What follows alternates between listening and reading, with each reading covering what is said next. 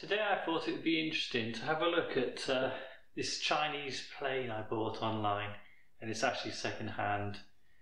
I'm interested to see how it will compare to the traditional planes that I buy from makers like Stanley Tools or Record Tools. I think it'd be interesting uh, to compare the two side by side and um, see what I had to do to get this plane running really nice and I did manage to get it running really nice in the end. So this might be an interesting video if you're thinking of buying a tool like this. And to take it apart, what you do is undo this screw here and then the blade pops out and the blade engages with this screw there. So that notch has to fit into that. And what was happening with this tool was this notch was popping out because the tolerance between the blade and the notch was too much. So what I had to do to get it running is I had to grind slightly this face here so that the blade sat closer to the screw. So what I did is I flattened this off on the diamond stone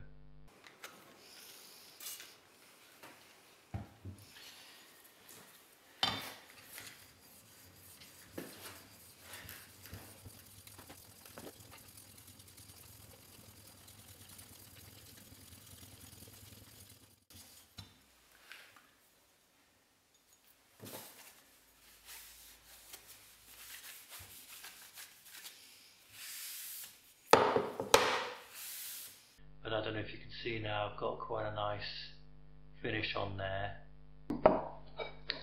Then I had to regrind the blade and grind it square. And actually came with this concave. So it was cutting on the edges and not in the middle which I've never seen. It's normally the other way around. So I reground that using the uh, Sorby Pro Grind uh, worked really well and I've just um, honed an edge on there so it's quite sharp now.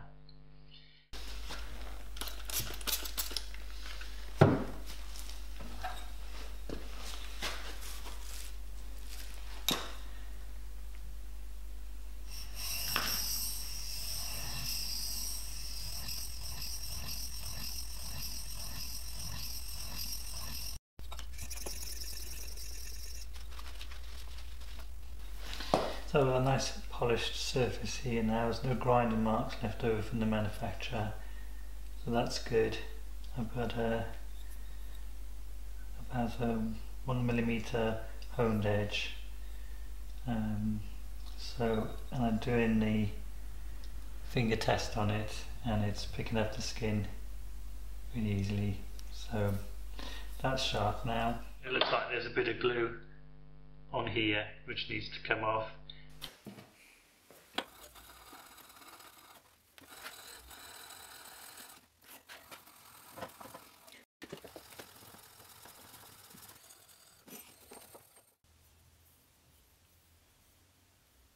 But I think after a bit of restoration work, I think it's a really nice tool to be fair, and I think I prefer it to the Stanley. Now, the adjustment of the Stanley is you undo that, and that pops up, and that hasn't got a ground surface like the Chinese tool has. That's got a flat ground onto it there. The blade, I don't know, I'll have to report back on the hardness of the blade, um, but the Chinese blade is thicker. Although, I think getting this tool working has made me think that I need to go back to the Stanley block plane and get that running a bit nicer because uh, I don't know if you can see that uh, the Stanley one it's got machine marks on there and this is pretty smooth now. Um, so there's no reason why I can't restore that one to that level. Um, yeah I guess the the knobs on the Stanley are nicer to use um, because of their profile, their rounded profile, so they're nice. Are a bit sharper.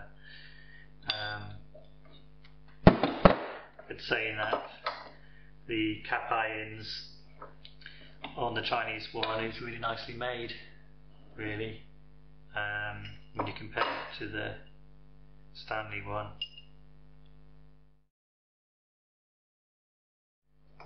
So it's sticking out about a millimetre, a half a millimetre. Okay, what I tend to do is bring it in and then push it out very slightly. And then I tighten this and then I try it. And then I can close up this gap.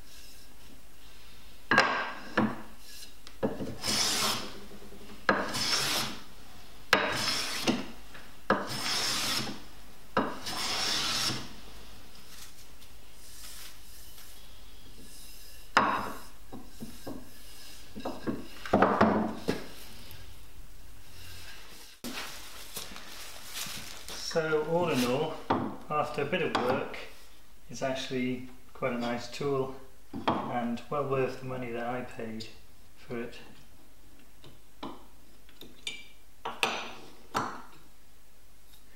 And I've been using it for quite a while now and the blade seems to be holding its edge so I imagine the steel to be quite hard.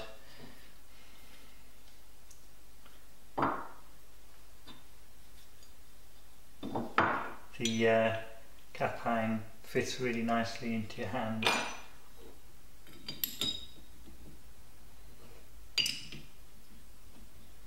And it is quite easy to adjust. Um, take the blade out sharpen